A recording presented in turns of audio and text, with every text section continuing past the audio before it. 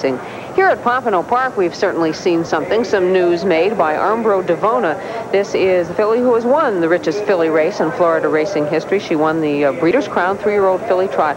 157 and 3 for the one mile, and she came back with her little ears pricked as if uh, she just had a little jog in the morning. I was pleased to see Davidia Hanover go the way she did. Gary Lewis, in his interview, uh, just told Kenny that if he had to pick a night to race, this would have been the night. And Davidia showed some of her old class and form tonight in finishing second. But clearly, the winner is the champion of the division, and she justified the very heavy odds-on one to two support the crowd here tonight. And, you know, I don't even think we mentioned earlier, we were talking about her world record. This is a filly who won a heat of the Kentucky Futurity against Colts this year. She won a heat of a classic, so it wasn't just her world record last week that, uh, that meant that she got so much support. Absolutely. She won so much support at Delaware, Ohio on the half-mile track there on Little Brown Jug Day when she set a world record of 157.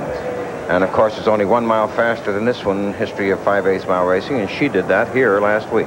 And she went fast tonight. Well, there are a lot of happy people in the winner's circle right now, and Kenny Rice is going to be speaking to the happy winning driver.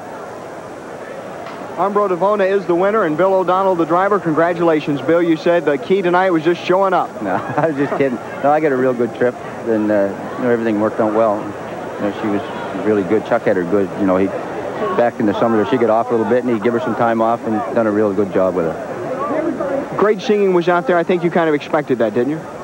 Well, leaving there, I was kind of going to get in the three-hole, looked like, and then Bernd Lynch's horse made a break and kind of had to let her run out of the way, and then Joe's filled the hole, and I get in behind him, and, you know, that made up for a good trip for me. Then I got to be second over the whole way.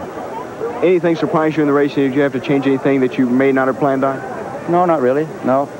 You know, I just was going to go there a little ways and kind of hope for a seat, and but it worked out very well. She's a good one. She's really good. Congratulations, Bill. Thank you very Always much. Always good seeing you down here. Can I say hello to uh, my wife and family at home? Sure. Okay. okay. Bill O'Donnell in a familiar spot here in the winner's circle. Armbro Devona is the winner. Now back up to you, Sharon. Thank you, Kenny. What if Kenny had said, no, you can't say hello? of course, Kenny said, okay. And congratulations to Bill O'Donnell and all the people connected to Armbro Devona. We'll be back with more in just a minute.